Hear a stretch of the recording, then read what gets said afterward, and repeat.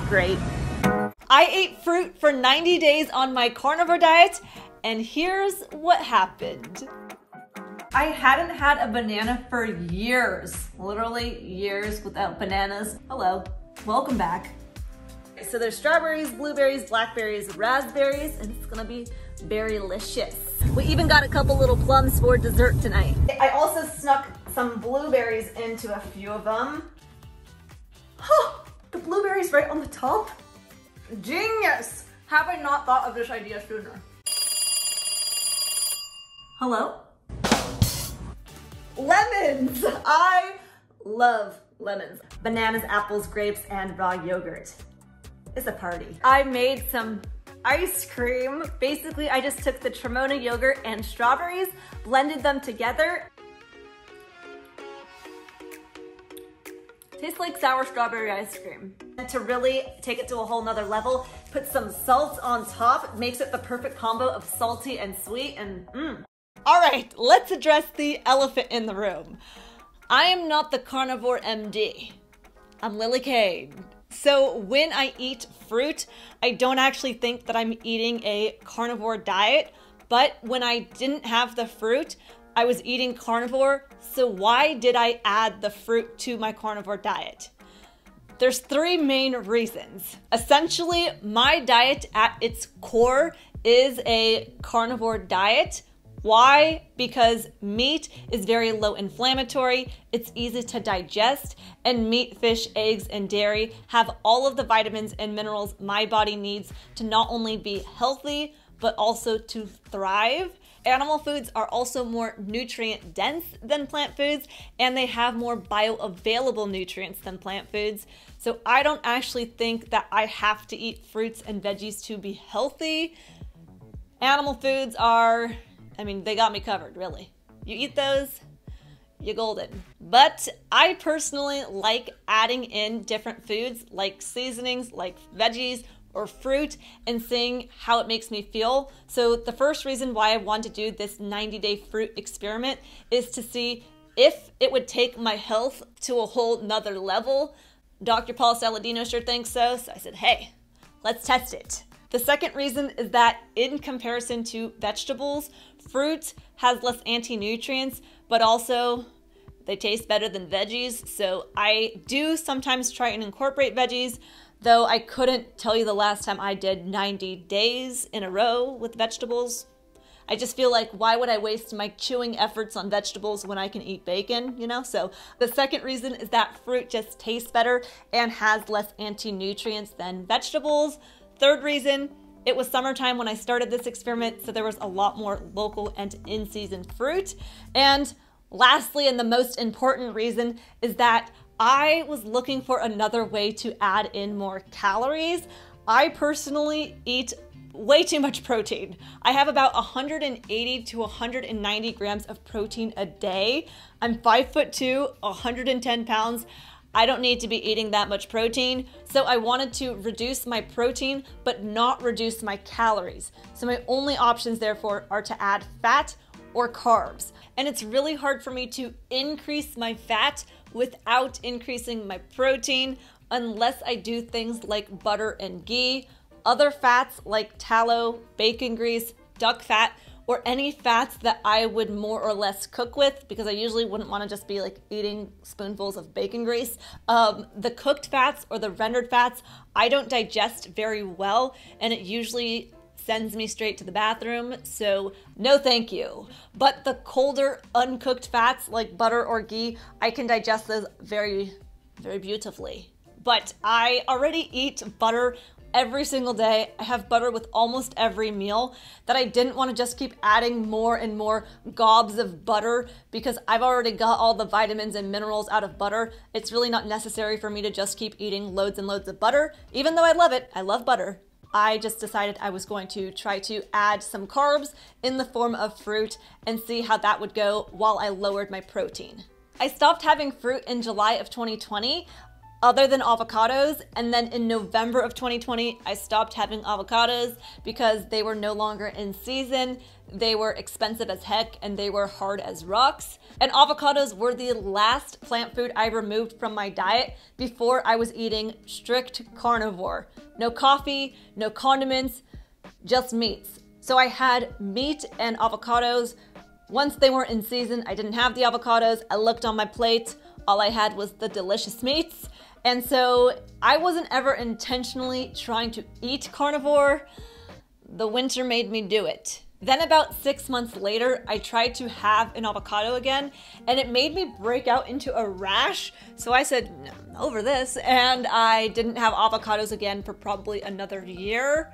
Enough about avocados. I mean, avocados are a fruit, but I don't think most people consider them like a fruit fruit since they don't have any sugar. As far as sugary fruits, I stopped having fruit in July of 2020, sugar fruits in July of 2020, and then it wasn't until August 2021 when we went on vacation where we were like, hey, vacation, living it up. Let's enjoy, celebrate. So naturally, one night we had plums, one night we had nectarines. That is, that's vacation. Woo!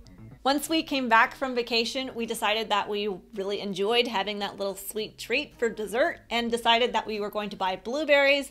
And because blueberries were the only wild organic fruit that we had access to, that was the only fruit I've had for the last year up until this last 90 days. And eventually it got to the point where I was just so tired of eating blueberries. Lately, though, for the past few weeks, blueberries they just haven't been doing it for me. I just haven't really been enjoying them, so I haven't been having them. The whole point of adding in the blueberries was to have something a few times a week that I would get excited to have that I don't regularly have. But eventually, when you regularly have blueberries a few times a week, then it turns into a habit and something that you don't look forward to having. And they just started tasting kind of bland and flavorless. So I was like, why do I keep eating blueberries if I'm not even excited to have them anymore? So I stopped having all fruit again for about a month while I looked for other fruit options. And then that's when I started this 90 day fruit experiment where I wanted to consistently have a piece of fruit every day since with the blueberries I didn't do it every day, and I wanted to test out other fruits. Plus, like I said, when I started this, it was summertime, and so there were more seasonal fruit options, and with it being hotter out, I was sweating more and losing more electrolytes, and fruit can help with electrolytes, so I thought, win, win, win. I do supplement with electrolytes regardless of if I'm having a piece of fruit or not, because if I'm just eating a piece of fruit and eating an all meat diet, I'm not going to get particularly enough magnesium and potassium that I would need. I don't try to hit the RDAs, RDIs, the recommended daily allowance numbers, because I don't think they are completely accurate for someone who's eating a lower carb diet. Even though I was having carbs from fruit, I was still under 30 grams of carbs a day. And so if I was eating a standard American diet, maybe I would be paying more attention to the RDAs. But I know as a low carb person, even Dr. Stephen Phinney will argue something like particularly vitamin C. Vitamin C and glucose compete for the same receptors. So if someone has a higher carb diet, they may require more vitamin C than someone who eats a lower carb diet. So I don't try to follow the RDAs specifically, but I do think particularly magnesium and potassium I don't get enough of from just meat. So I do supplement with LMNT. It's an electrolyte drink mix that doesn't have any sugar, artificial ingredients, or any funky funkies. They do have a raw, unflavored packet that is just sodium, magnesium, and potassium. I'm less concerned about the sodium since I do salt my foods like crazy, but if I was only eating meat, I would be a little bit more nervous that I could become deficient in the magnesium and potassium. So, check out LMNT. There's a link in the description where you can get a free sample pack with any order, or you can go to the URL drinklmnt.com for the free sample pack. All right, let's jump into the pros, the cons, and the farts to this 90 day fruit experiment. Again, I stopped having fruit in July of 2020, and then August 2021, started having only blueberries a few times a week, stopped having fruit altogether, and then the first fruit I reintroduced was watermelon. The pros were it was delicious. I hadn't had watermelon in over five years, so it was really good. The cons were the first few nights, I was having diarrhea, I wasn't sleeping great, and I was incredibly hungry. That was the worst con, is that I eat pretty much the same amount of food and the same meals every day. And so I knew it wasn't that I was actually hungry because I ate enough food. And when I have fruit, I have it at the end of the day as my dessert, like a sweet treat. So it was really strange that I ate all of this food, was full after I ate dinner, ate the watermelon, and then after about 10 minutes, I was starving.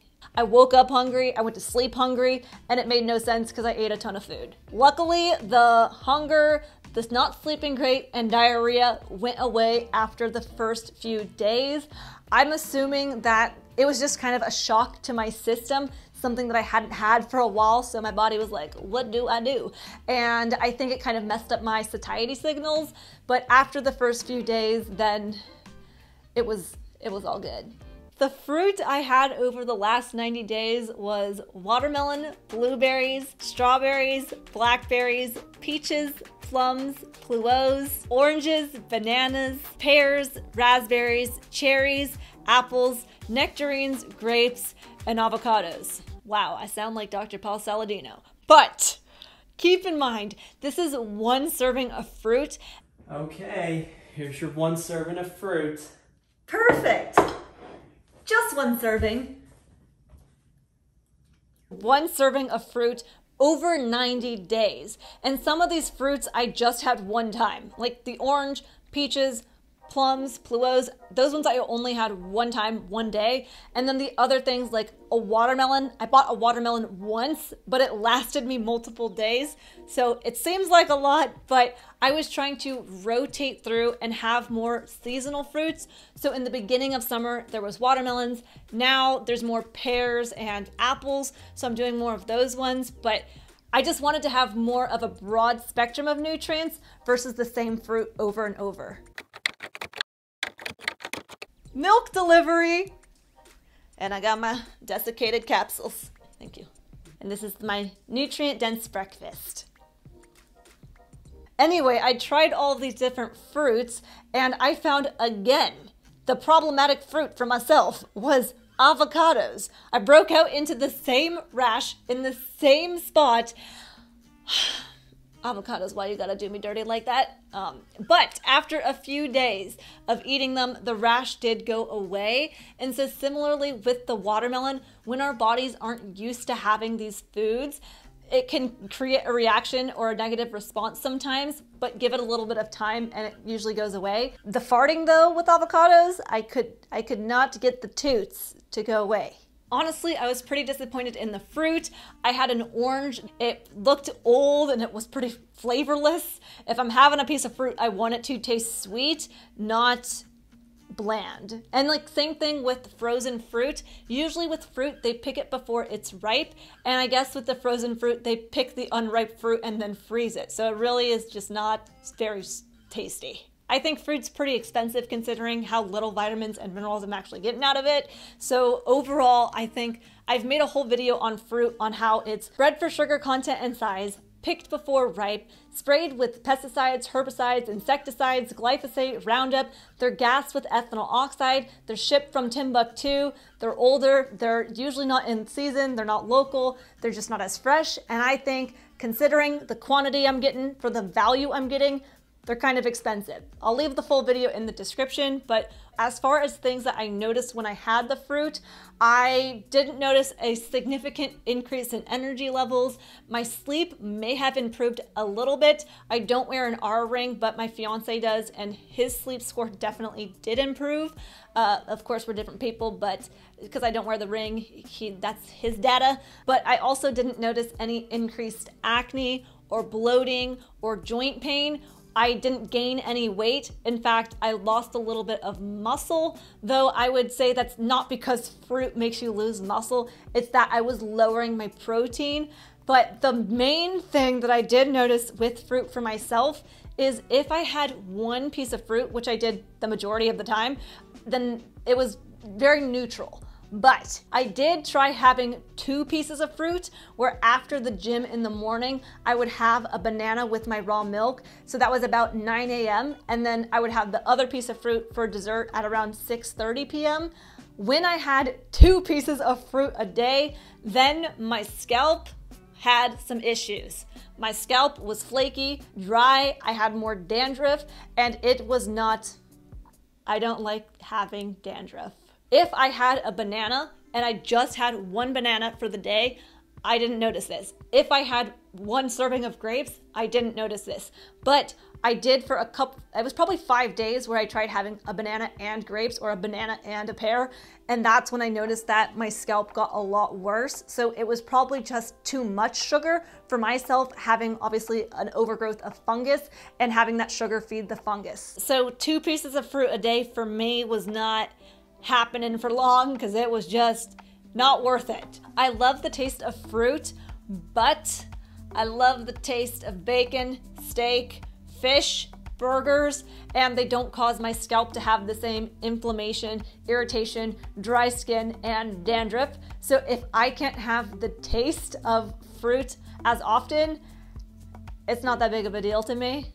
I got bacon. I will continue to have fruit in my lifetime, probably not every day, and in the winter, probably not any at all, just because, like I said, I want it to taste good when I eat it. And if it's not fresh, seasonal, local, if it doesn't taste good, then why? I mean, I don't need to eat it. So now that summer has passed, I will, the fruiting will diminish, the buttering will commence. I did get a CGM that I'll be wearing for the next couple of weeks, and I'll be coming out with a video where I show my blood sugars with the fruit still, which were spoiler alert, relatively unchanged.